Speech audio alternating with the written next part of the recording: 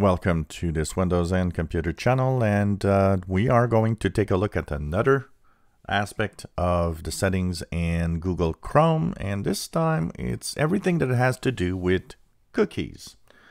Cookies, I mention it regularly, are an, an essential part of browsing. They contain some data that helps websites remember who you are and uh, some of the settings and what you did Cookies are useful in most uh, websites because they actually help you, you know, stay to the settings and the way that things are and you left them when last time you visited.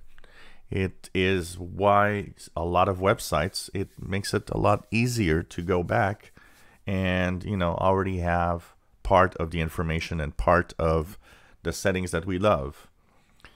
Also, why they remember us and uh, basically, cookies have a bad reputation and always have had a pretty bad reputation for a long time.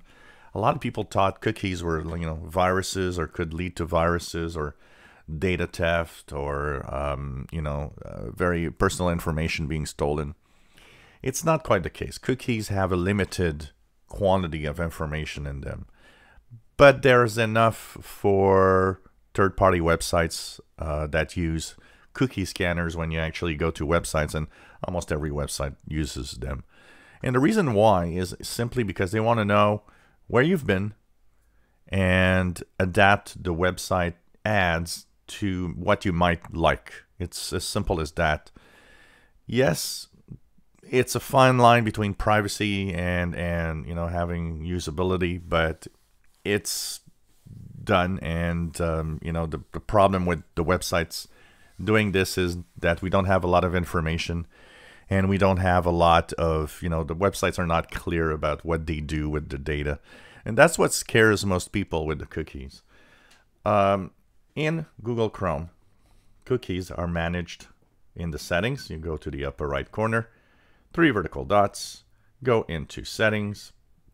In here, you'll go down to the privacy and security and in there, you see cookies and other site data. Here, you will have what you can actually have done with cookies. So you can allow all cookies to be go through. What does that do? It means cookies are accepted by any website. And of course, they'll be used and they'll be uh, utilized to make sure that things are as best as possible in uh, your browsing. Then you have block third-party cookies in incognito. What's that? Well, incognito mode is that mode where once you actually stop using it, you kind of, you know, there's no trace of what you did on your browser. Um, so you can actually block cookies in incognito mode if you want.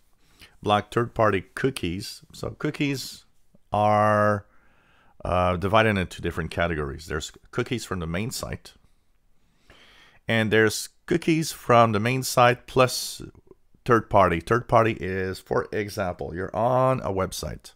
That website has part of it that displays another site with information in it. It could be an ad or it could be simply information taken off another website. Well, that becomes a third party cookie. You get website cookies from a site that is not the primary website that you are in. So you, you, you get where cookies get complicated and why sometimes people don't really like them. Um, so that's the other option that you have available. And then you have block all cookies.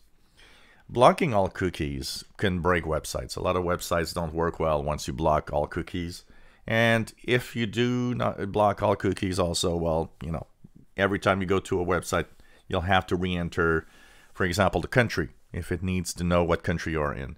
It will you will need to re-enter any information that actually will make that website more personal to your usage because none of that information is saved.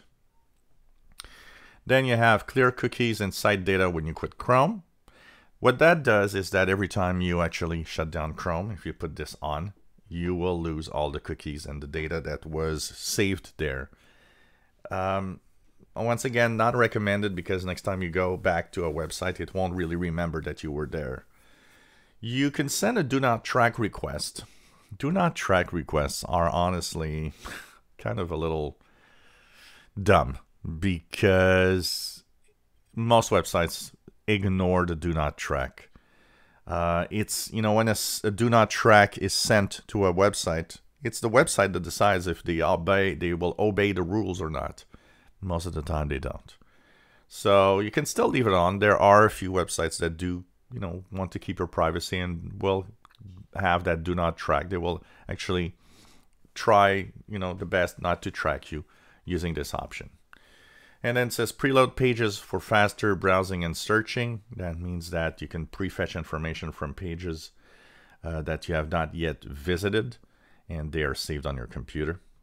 And then you have see all cookies and site data. This will give you every website you visited, the cookies, the information that were saved on your PC um, with the websites you visited. And then you can add sites to clear cookies. So certain sites you can say, hey, clear cookies or not, or always use cookies on that site. I'm okay with it, and so on. You just click the add button, add the URL of that web page. If you enjoy our videos, please subscribe, give us thumbs up. Thank you for watching.